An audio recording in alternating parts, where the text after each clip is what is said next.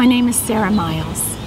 I was really blessed to have been a stay at home mom, and my children are grown and raised now. They're both in their late 20s.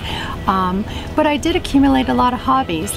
I really love jewelry design, and I've been doing that for a really long time. Also, I worked as an actress. Um, and I just love to dance. My fiance and I go out dancing. We love to ballroom dance, all types of dancing, which I think add to the whole upbeat, uplifting euphoria that I have.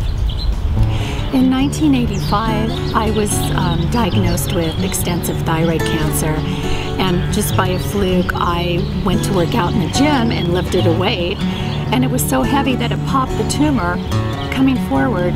And basically I had no time to really think about what was happening to me. I felt the tumor in the lump and said, oh my God, what is this? I was rushed to emergency surgery and was told that I would never speak again because the tumor had been wrapped around one of my vocal cords. Um, I spent three years going through a chemotherapy, radioactive iodine, and I had to learn how to speak and swallow and eat all over again. That was a trial that I don't think I wish anybody to go through. But in the whole spectrum of it all, it made me a stronger person. Before I started using cosmetic dermatology, I was feeling less than great about myself. There were a few things that I really kind of wanted to fix when I looked in the mirror because I did grow up in the sun years when sun tanning was a sport and I felt like I had a lot of sun damage and really wanted to fix that. Dr. Tess, first of all, I loved her. I walked into that office and I just felt at peace. I felt calm. I knew I belonged there. And as I met her and worked with her, I thought, you know what? This is where I need to be. She was just, she treated me like I was part of the family. And that was really important. The procedures that I've had done are laser. I've had Restylane um, around the corners or borders of my mouth, the corners of my, from my nose down to my lips. Um, I've had a little bit of Botox, and I've had currently Venus Freeze that I just love. With each anti-aging procedure, there really wasn't that much pain.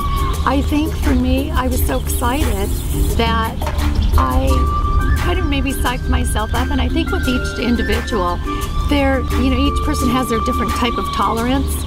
My tolerance from what I had been through with my cancer recovery must have been way up there because although I did have downtime there was some redness and swelling.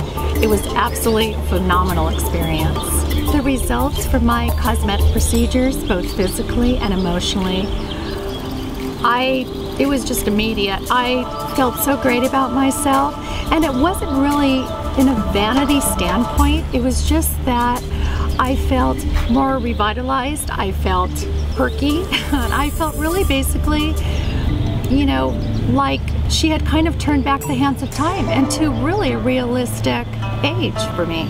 Oh, my life has changed because of the procedures. Everywhere I go, no one has ever asked me, do you have something done? They say to me, you look fabulous. You must really be living a calm life. Uh, yeah, that's it. and now with cosmetic dermatology and the procedures I've had, my goal in life because of my spirituality is to put together both mind, body, and spirit. And that involves the physical, the mental, the emotional. And I think through that, they say no pain, no gain. Well, I look at that in the cancer survival. Yes, there was a lot of pain, but on the cosmetic side, shouldn't have to suffer at all.